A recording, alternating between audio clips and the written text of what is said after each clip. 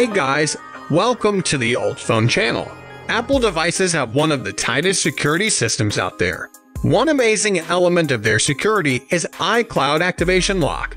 What it does is, when you own and set up an iPad, it gets connected to a unique iCloud ID. But the main problem of iCloud ID is when you lost login access to it.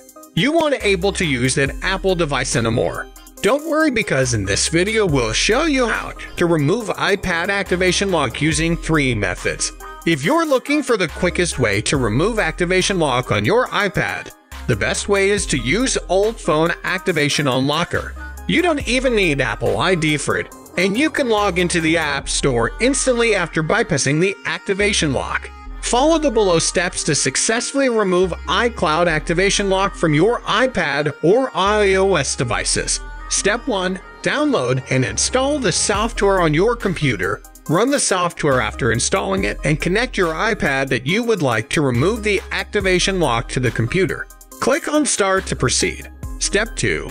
Once you click the Start button, the old phone will start downloading the jailbreak tool. Click on Start Jailbreak and simply follow on-screen instructions to jailbreak iPad with the downloaded package. On the next screen again, Click start two times and now quickly press and hold lock and power button for 10 seconds. After 4 seconds release lock button. Now you've successfully entered DFU mode.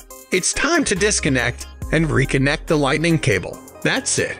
Step 3. Upon the completion of the jailbreak process, hit on the next button. The software will begin by passing the activation lock on your iPad.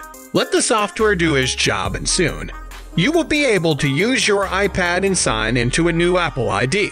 Step 4. That's about it.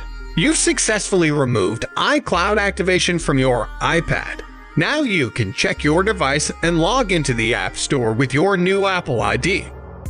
If you have bought a second-hand iPad with an iCloud account locked, then you can ask owner to remove iPad from iCloud account.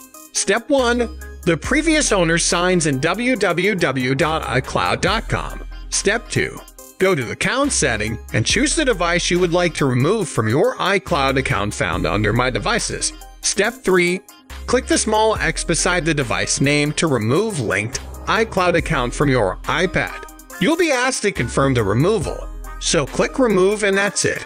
If you don't have access to the previous owner of the device, you can ask Apple to help you remove the activation lock from the device, but Apple will only help you if you can provide proof that you purchased or inherited the device. If you bought the device, then you need to provide Apple with proof of purchase such as a receipt.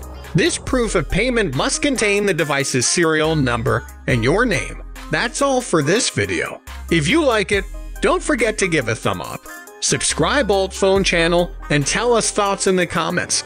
Have a good day.